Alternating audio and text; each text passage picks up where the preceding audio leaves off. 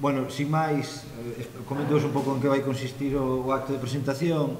Eh, Luís eh, de Obradoiro JR, que xa casi todos o coñeceredes, vai nos explicar este, este invento, esta patente que acaba de sacar, e despois o que van xunto con, con Óscar Ibáñez, o que van é a que poidades palpar os que sabedes de, desto da, da, do mundo da gaita, pois como se fai a transición, como se cambian os punteiros e como vai sonando esas diferentes tonalidades. Bueno, pues, moi bo día. Gracias, ante todo, por estar aquí. A idea surgiu de ter unha mesma gaita para diferentes punteiros. O bautizo primeiro que tuvo foi o de prima afinable, Pero vamos a ser realistas, prima finable non son nada ben. Entonces este como prima finable patentouse. Pero o que é realmente, digamos que é un modelo de utilidade para a gaita para facer os bordóns multitonos. Entonces, o digamos que o secreto máis grande de todo ven sendo que a prima é unha prima finable porque consta de dúas pezas lógicamente ten que haber un espigo para que poda funcionar. Entonces, aquí é onde se produce a modulación máis grande do, do roncón para poder facer os cambios de tonos. Mm, podemos ir desde re, co mismo roncón, podemos ir desde re e o si a, vamos usando a lengüeta, podemos chegar casi incluso a sol grave.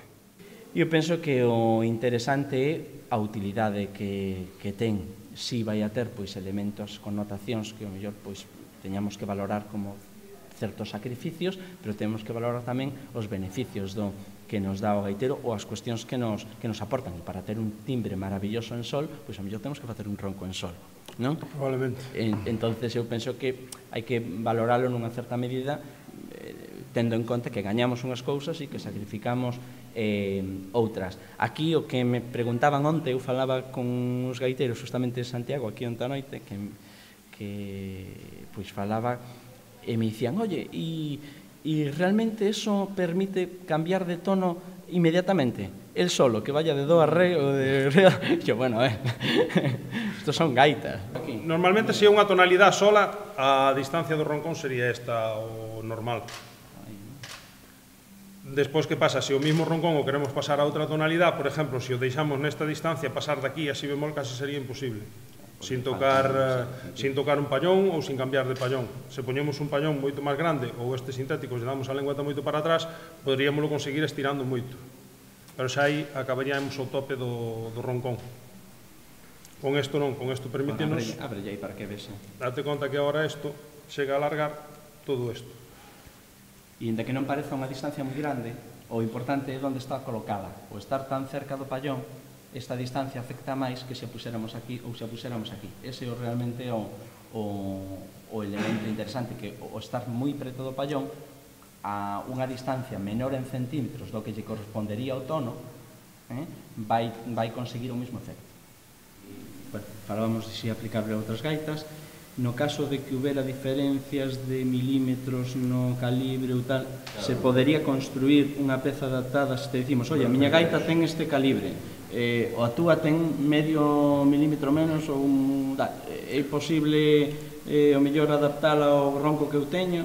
Penso que se pode facer perfectamente, porque era o que decíamos antes, eh, a peza que se vai substituir é a primeira. Eso As outras non pode haber unha diferencia moi grande, pode haber medio milímetro, un milímetro xa falando me parece que en plan bruto. Entonces, como digo, a modulación principal está aquí, eu podo poñer aquí incluso mellor abrir un pouco máis a campana, ter aquí outra medida diferente, non lle vai afectar tanto. Si esta non fora a peza, si teríamos problemas. Si, non, non, de feito, este, eu estou seguro, vamos, que perfectamente funcionaría con calquer, con calquer tipo de gaita. Digamos, xa sea de diferentes artesanos ou incluso diferentes modelos de, de gaita. Eu, por exemplo, podo decir que provei esta peza co bordón da gaita aragonesa. Chego casi a facer os mesmos cambios de tonalidade que, que aquí.